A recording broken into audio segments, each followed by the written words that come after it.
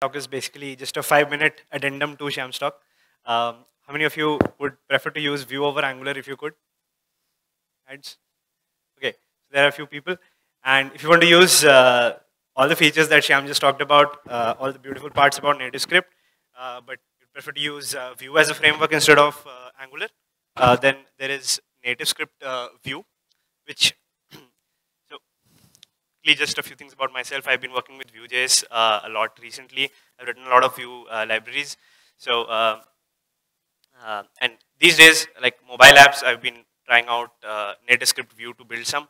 Uh, though originally I have been a, a very long time, six, seven years, I've been working on native mobile apps.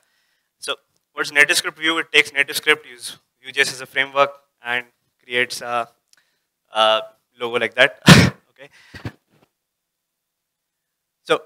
NativeScript, I think you've seen something, I'll just add a few things that I felt really nice was that you can create certain layouts which are actually pretty hard uh, creating in even native iOS or Android, like grid layouts, wrap layouts kind of things.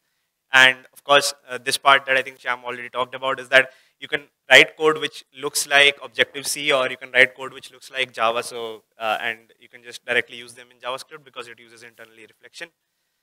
And uh, like you can use NativeScript uh, as with plain JavaScript and XML files, or you can use with Angular like you have seen now. And finally, you can use it with uh, Vue.js. The latest version of uh, uh Vue allows you to use Vue CLI 2.0 components, so you can't actually use with Vue CLI 3 right now. Uh, but your Vue single file components, uh, those who have used, you can put uh, Pug Jade as templates if you want instead of HTML. You can use TypeScript or CoffeeScript in the script part instead of JS if you want to. I mean, Webpack is going to transpile all of that for you. So I mean, you can just go on and use whatever language you want in your Vue single file components.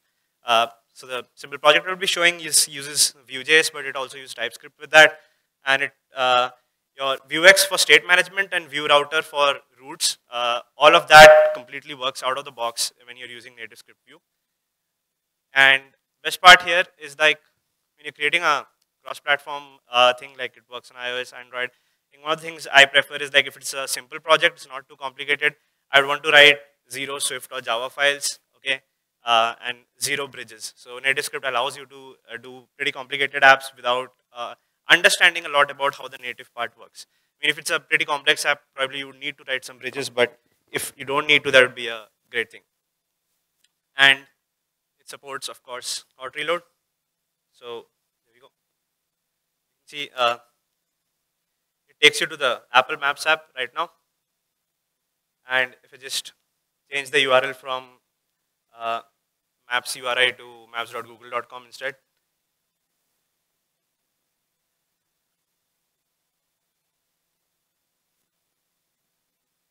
And click on the location now, it goes to uh, maps.google.com. Okay, so uh, everything that you, all the features that you get when you are developing a Vue app on a website, uh, Webpack single bundle file with hot module reload, all of that stuff is there. And uh, best thing, uh, I'm just going to show it in a live app. So you can use CSS animations and they translate into native animations. This is a very powerful feature. Uh, if you're using something like React Native, which is one thing that we can compare to NativeScript, is that you have to create an animation object and then animate items. Um, just uh, show. I'll just show the app ones.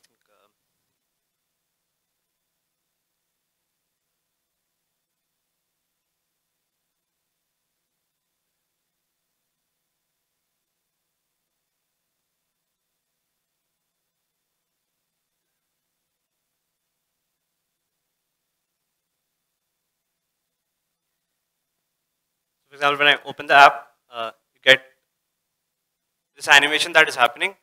When it is running, it is an actual native animation inside Android with interpolators, but I have defined it in my code simply using CSS files. So translate animation automatically converts into native animations. Um, there are things like also if you want to say open up uh, a QR code scanner, uh, automatically asks you for permission for camera and stuff. Most of these libraries already exist. You don't need to even understand how the native layer this is working. And uh, yeah, probably hold on my badge or something.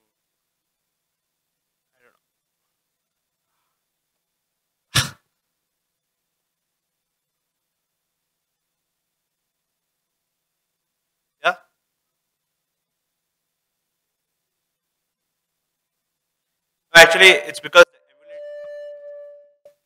the emulator, has a 90 degree orientation problem. I don't know where. Yeah, I think that works. That is a probably scanned it. So, so all of this, uh, I think uh, I'll just show you the scanning code. It's like just a single line of code which uh, makes this possible. Yeah, so you create a barcode scanner and you like just dot do scan. It asks for the permission, opens the camera, does the scan, all of that stuff. Uh, you don't need to understand how the native part works. So if you're making simple apps, I think it's a pretty good option. And if you want to uh, just uh, probably check out the code for this, or you want to contribute. Uh, so I mean, this is where it would end up. The first one, uh, HasGeek slash mobile. Right now, I'm just building it on my repository, and if anyone has installed the Android app right now, uh, I know it's pretty buggy. So it's going to improve probably by the next conference. This will be the app and anybody who has iPhones, they would be able to use it as well. And you would have all the features that the existing app has and extra features too. So possibly, you know, by the next conference, if you come to a HasGeek conference, you don't have the app, you know who to blame. Okay, thank you.